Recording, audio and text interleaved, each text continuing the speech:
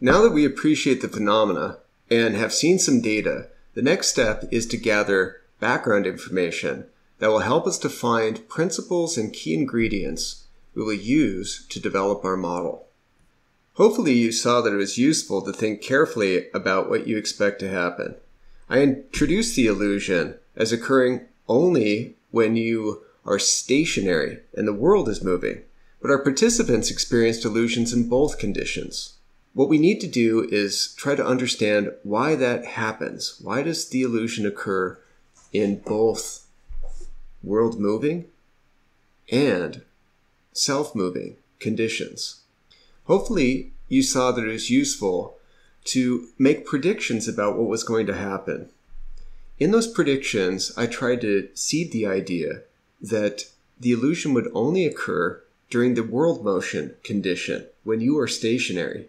However, our participant data shows that the illusion occurs in both cases when you're stationary and the world is moving, having an illusory self motion, but also having an illusory motion of stationarity when you're actually moving, but the world is stationary. So, why would these illusions occur? Gathering background information is one of the most critical steps in modeling. It's at this step where we try to pull together the key ingredients that we're going to need to generate ex- explanations and build the components of our model. One of the most important things to consider when you're gathering background is what are the inputs and what are the outputs to the system. In our perceptual experiment, the inputs come from our senses, and there are two senses that are particularly important.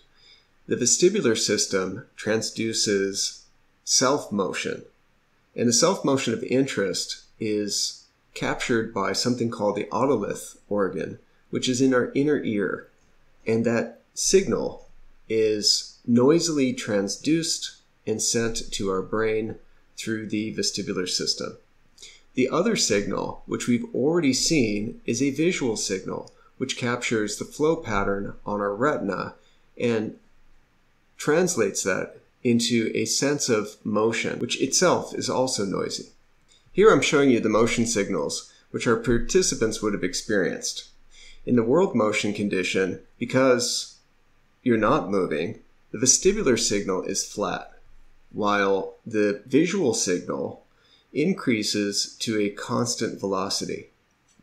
In the self motion condition, the vestibular signal is transducing acceleration, so it initially increases, then decreases, while the visual signal is identical in both of the conditions.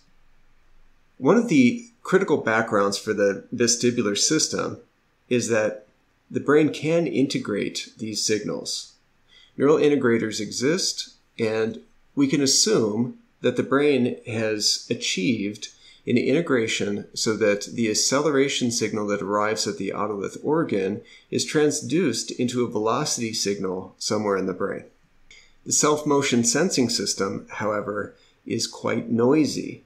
This noise means that it's much less reliable than the visual system. The visual system has a different kind of uncertainty or ambiguity structure to it. While it's also noisy, it has the property that there are conditions for which ego motion, that means the motion of the self, and world motion are produce identical patterns on the retina. In general, there is a big difference, order of magnitude difference in reliability between a visual signal and a vestibular signal.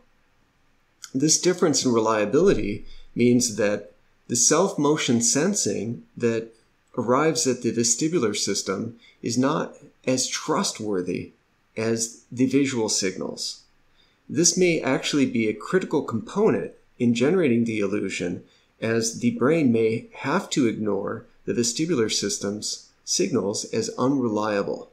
However, we don't know exactly how the vestibular motion perception system works. What we're going to do next is integrate the vestibular acceleration to get velocity and then look at data. What we want you to do now is to think about what the signals mean and to think about what signals would allow you to estimate self motion.